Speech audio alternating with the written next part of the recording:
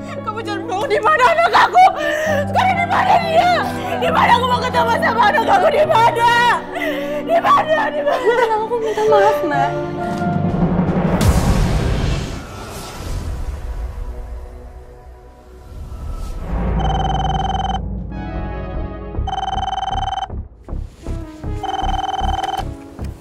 Halo, Pagi Bu, kami hanya ingin mengingatkan kalau kredit rumah atas nama Surya Gunawan belum dibayar Bu dua bulan. Em, iya, iya betul sekali Pak. Kami minta maaf karena kebetulan saat ini keadaan keuangan kami memang sedang lagi ada masalah, tapi pasti kami akan bayar Pak. Tolong ya Bu, kalau sampai tiga bulan Ibu tidak mau bayar, rumah itu akan kami lelang Bu. Iya Pak, iya. Duh, Papa pakai kena stroke segala sih.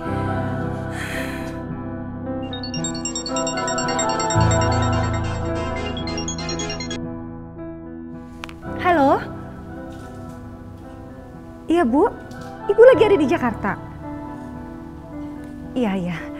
Oke baik, iya saya bisa ketemu. Sampai nanti ya Bu. Terima kasih.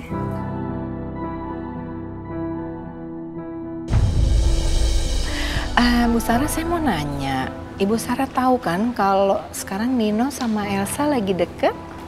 Oh iya, Elsa memang banyak cerita dan kalau saya lihat Nino sepertinya membuka hatinya untuk Elsa ya. Dan saya lihat juga sekarang Elsa tuh banyak kasih perhatian ya ke Nino. Mereka kelihatan deket. Saya seneng loh liatnya.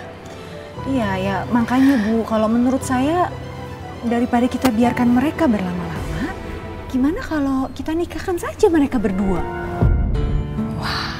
Saya setuju sekali loh, Jam. Lebih cepat lebih baik. Dan apa pun itu untuk kebahagiaan Nino pasti saya dukung. Nino nikah sama Elsa. Yang bener aja kamu, Ma. Nino itu suaminya Andin. Mantan suami, Pak. Perceraian mereka tidak... Ma, perceraian mereka tuh sepihak. Ya, karena Andin tidak datang ke sidang perceraian. Sekarang gimana Andin bisa datang ke sidang perceraian? Jelas-jelas di penjara kok. Pokoknya, saat ini mereka sudah resmi bercerai. Pokoknya enggak. Aku tidak setuju. Ini terlalu kejam buat Andin, Ma. Kejam? Kamu tidak pernah menyebutkan pernikahannya Nino sama Andin itu terlalu kejam untuk Elsa. Kamu justru meminta mereka tetap menikah dan memaksa aku untuk mengalah. Jadi sekarang, sekarang Mama minta saatnya kamu untuk mengalah.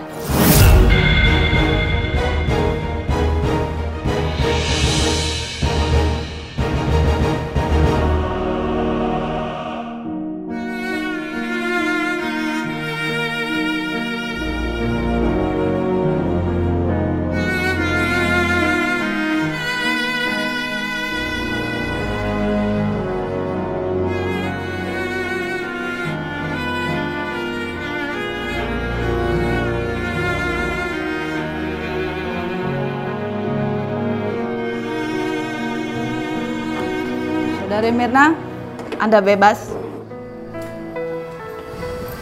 Jaga diri lu baik-baik ya. Hati-hati ya.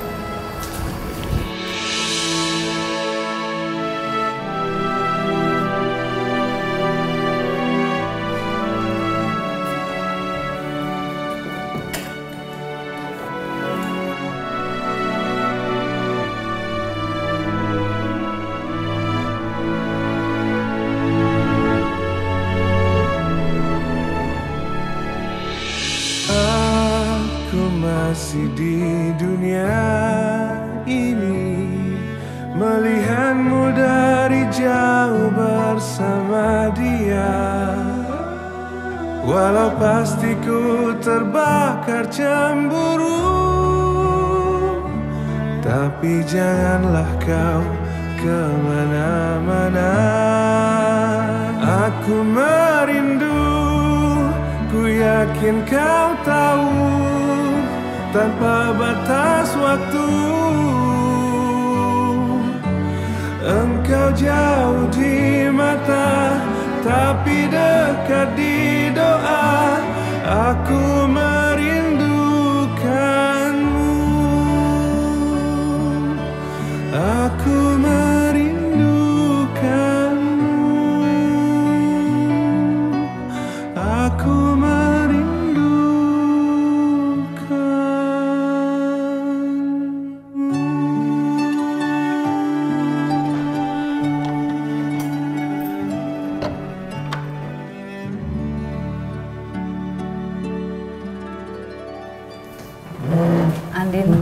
Karena kamu selama ini sudah bersikap baik di sini dan mendapatkan beberapa kali remisi 6 bulan masa tahanan, jadi hari ini kamu bisa bebas. Ini barang kamu. Semoga kamu bisa berbaur dengan masyarakat lagi. Makasih banyak ya Bu. Sama-sama.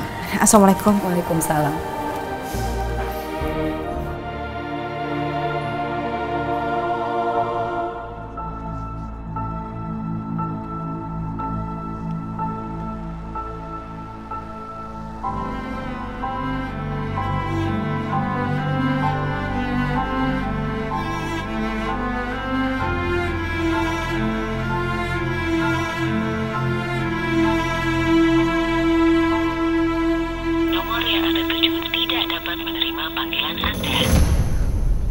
Nggak aktif ya nomornya?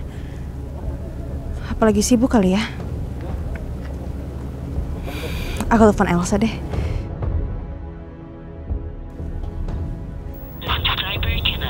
Nggak aktif juga nomornya. Lagi pada sibuk kali ya. Mendingan aku pulang aja deh. Aku udah kangen sama anak aku.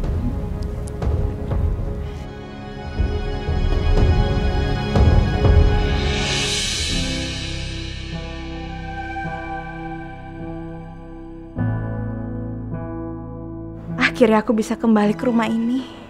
Semoga Mas Nino udah maafin aku. Dan aku bisa ketemu sama anak aku.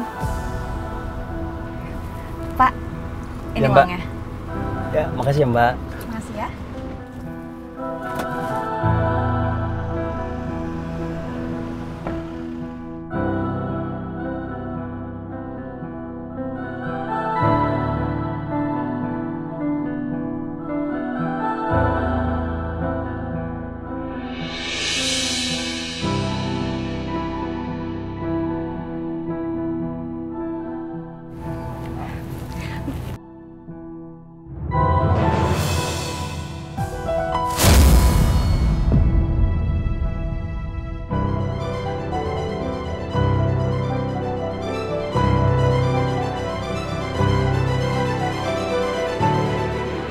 Elsa.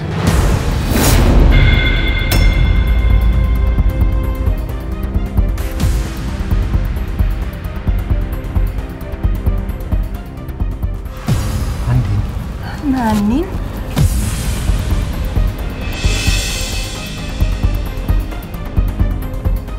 Mbak Anin. Ngapain kamu di sini? Aku Udah. Biar aku yang jelasin. Andi, aku dan Elsa sudah menikah.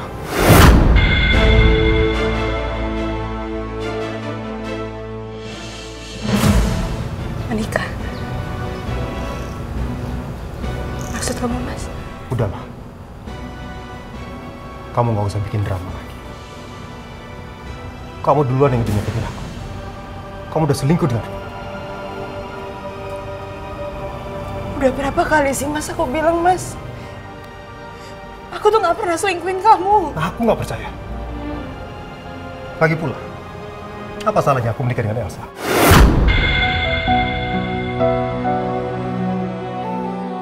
Kita kan sudah bercerai. Kita bercerai juga karena kamu doang Mas yang setuju. Mana pernah sih Mas aku setuju, Mas? Aku aja sampai sekarang Mas masih pakai cincin nikah kita. Aku udah gak peduli. Walaupun ke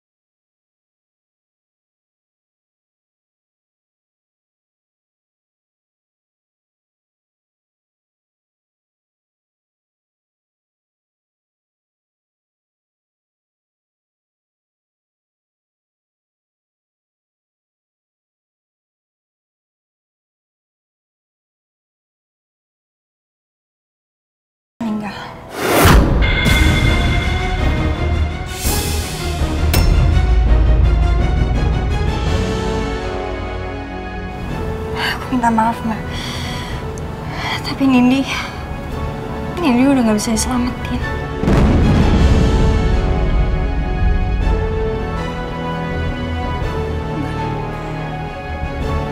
Gak mungkin. Gak mungkin meninggal aku pas ngasih ke kamu dia tuh masih sehat. Mbak Nindi itu lahirnya prematur dan dia nggak bisa bertahan seperti anak yang lain.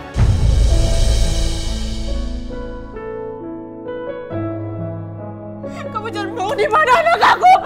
Sekarang di mana dia? Di mana aku mau ketemu sama anak aku? Di mana? Di mana? Di mana? Aku minta maaf mbak. Andin, Andin.